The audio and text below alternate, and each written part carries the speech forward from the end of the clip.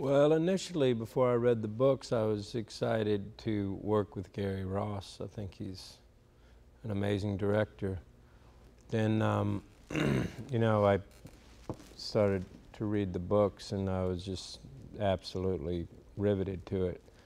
Finished the three books. Uh, I mean, I must have finished them in a week. Uh, and that I still, I had tons of stuff I was doing at the time, but I just couldn't put it down.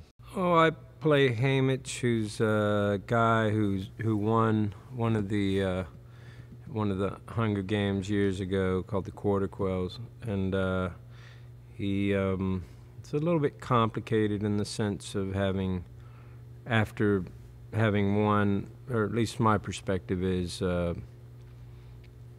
you know, he won this thing, and then everybody started treating him, you know, nicely, and he, you know, was making money, nice place to live, and all of it, I think, appeared to him as just a fraud and absurd, you know, to be treated so well. If the sponsors think you have a shot, they they might give you something. And uh, you know, my character Haymitch works as a conduit between Katniss and and or Katniss and Peeta, as well as the sponsors. So, uh, you know, I think it's my thing to try to you know induce them to give more, give this or that thing, and uh, I think a part of Haymitch's uh, designs is that if it looks like they're star-crossed lovers and they're they love each other in spite of the fact that there'll only be one of them left at the end because we don't know how this is going to go. Um, that you know, those the sponsors will give more, and so I think that's a big part of Haymitch's move. Jennifer Lawrence plays uh, Katniss, and uh,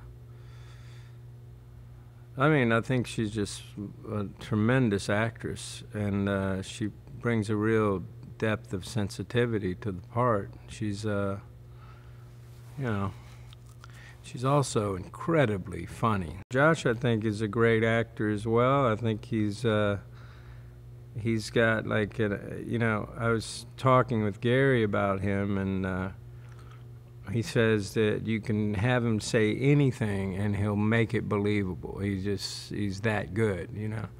And uh, and also he's just a lot of fun to be around. He's hysterical as well.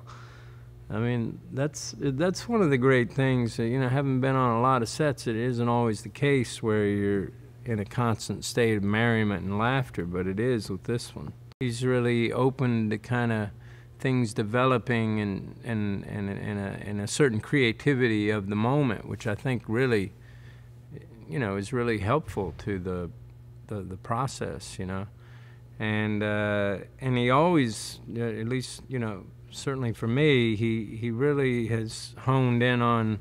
If I make the wrong choice, he, he has a way of kind of steering me back the right right way, and then then I'll still try to go over the top or something, and he'll try to pull me back. And I, I just love working with him. I think he's he's a dream director.